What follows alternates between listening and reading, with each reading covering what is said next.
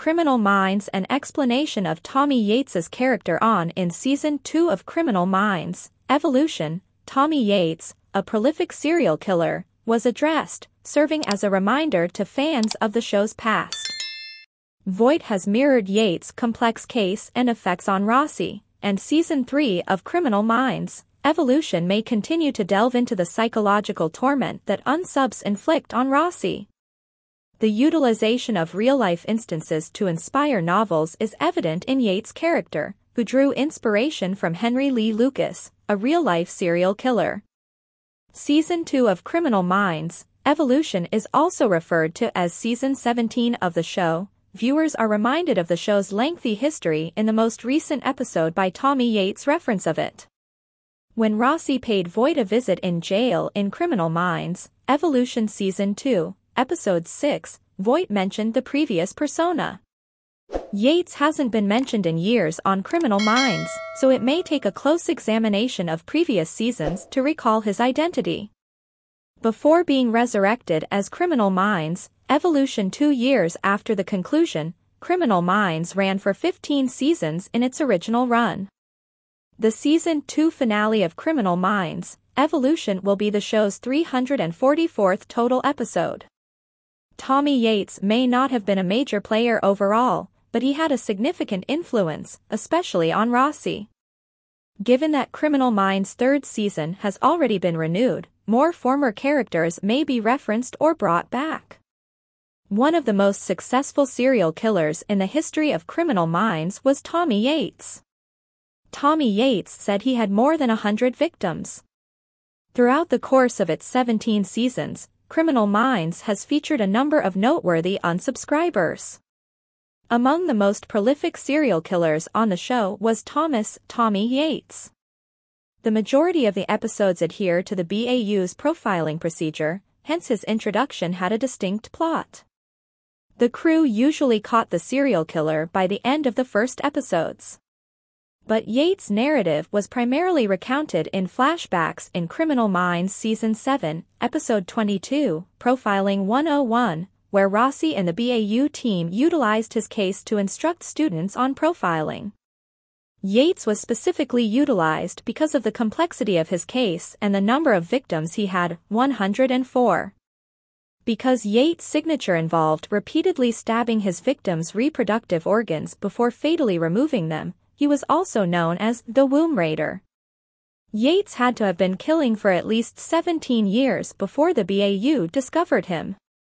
Although he was sent on death row, the Yates case continued after his apprehension. He would haunt Rossi for years to come, and when he broke out of prison in Criminal Minds Season 12, Episode 9, Profiling 202, he made a spectacular comeback. Why Rossi was haunted by Tommy Yates on Criminal Minds. Tommy Yates tried to penetrate Rossi's mind. In Criminal Minds, Evolution Season 2, Episode 6, Voit mentioned Tommy Yates since he was aware, from Rossi's books, that the serial killer had been haunting Rossi for a long time. In Criminal Minds, Evolution, Voit discovered that Rossi was experiencing hallucinations by profiling the profiler. According to Rossi, things were different with Yates because the matter wasn't entirely resolved. This is because each year, on a day selected by Yates, Rossi paid Yates a visit in prison on his birthday, and during that visit, Yates would divulge the identity and whereabouts of another victim. Rossi was willing to do this even though it was tough in order to provide the families of the victims with justice. Even worse, Yates would sing Rossi a spooky rendition of Happy Birthday at the conclusion of each visit. Yates, who was suffering from terminal cancer, returned to haunt Rossi in Criminal Minds Season 12 after breaking out of jail after a significant break-in. He began his murderous rampage and made Rossi listen over the phone to his victim's last gasps. Luckily, Rossi located Yates and put an end to him before he could murder another person. Sadly, this meant that the identities and locations of Yates' other victims perished along with him, but Rossi was prepared to make this decision in order to save additional lives. Rossi told his pupils at the end of A Profiling 202 that they would need to learn to set aside their personal lives from their professional lives, something Rossi still finds difficult to accomplish sometimes. The Criminal Minds character Tommy Yates was influenced on a real-life serial killer. The writers of Criminal Minds drew Henry Lee Lucas as an inspiration. Tommy Yates is one of several characters on Criminal Minds that have drawn inspiration from real-life serial killers and cases for their stories and personas. Criminal Minds writer-producer Virgil Williams revealed in a 2012 blog post that Yates' persona and the A Profiling 101 episode were mostly inspired by real-life serial killer Henry Lee Lucas. In season 1 of Criminal Minds, Hotch remarked that he didn't want to name his son Henry. Ironically, JJ's son was named Henry, because he would think of Lee Lucas. This was the first time Henry Lee Lucas was addressed. Henry Lee Lucas, like Yates' character, was raised by a relative who subjected him to forced cross-dressing and psychological trauma. Both of them killed people with a sexual component and mostly targeted women, Lucas even indulged in necrophilia. Their post-arrest confessions formed one of their strongest bonds. The distinction was that Lucas claimed to have killed hundreds of people, therefore most of his confessions were false. Despite how unsettling it was, it was good to watch Criminal Minds, Evolution take a trip down memory lane. Tommy Yates is one of the strangest and most fascinating unsubs on the program. Today's next update. The Hotch actor's new Criminal Minds remark illustrates how evolution could be improved by his return the character dynamics and possible love relationships in Criminal Minds. Evolution could be improved by Thomas Gibson's return as Aaron Hotchner. In season 2 of Criminal Minds, Evolution, Emily Prentiss may find comfort in Hotch's return as she navigates personal challenges. Although showrunner Erica Messer has stated that she is amenable to the return of original series characters, Gibson's previous actions may make his planned Criminal Minds franchise comeback more difficult. Thomas Gibson's recent remarks regarding the police procedural emphasize that Criminal Minds, Evolution could benefit from Aaron Hotchner's comeback.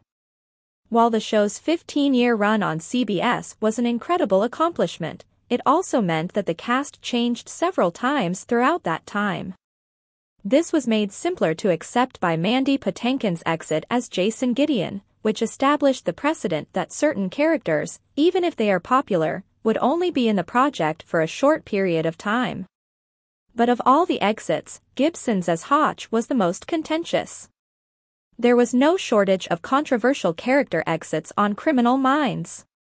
As part of CBS's cost-cutting measures, A.J. Cook and Paget Brewster's characters, J.J. Jareau and Emily Prentiss, were previously written out. When it became apparent that the police procedural worked better with them, they were finally brought back. They continue to be a member of the cast of Criminal Minds, Evolution. That being said, the circumstances surrounding Hotch's exit made it much more scandalous. After several altercations on the set of Criminal Minds Season 12, Gibson was let go. Even with his current situation in real life, Hotch is still a well-liked former BAU member. Spencer Reid's record on Criminal Minds is broken by Emily Prentiss after seven years, although Evolution Season 2 does it in an obnoxious way. Thomas Gibson claims that Emily Prentiss on Criminal Minds is loved by Aaron Hotchner. Gibson's remarks on Criminal Minds years following his termination from it following his dismissal from the police procedural, Gibson has remained largely silent regarding his former program. There were questions about whether it was time for Hotch to return when Criminal Minds, Evolution was given the go-ahead after being mired in development purgatory for some time. For background, in spite of the actor's sudden termination, showrunner Erica Messer and her team of writers managed to swiftly devise an explanation for the character's decision to leave, stating that he chose to concentrate on raising his son in light of Mr. Scratch's comeback. Given the Hotchner's past, the sale wasn't too tough. Gibson surprised everyone by sharing a video of himself talking about criminal minds on social media. He shared brief excerpts of his greetings on Cameo, and based on the volume of remarks he made regarding the police procedural, it's reasonable to assume that he's been asked a lot of questions about it. But one statement in particular from the video caught my attention. He was reaffirming to Hotch that Prentiss is his true love. For those who have been hoping for them to get romantically involved, this revelation is fantastic. Even though it's not canon, it does show how Hotch's comeback could improve Criminal Minds' evolution. For more of the latest updates and behind-the-scenes secrets from Criminal Minds, make sure to hit subscribe and ring that bell. Stay in the know with every new release.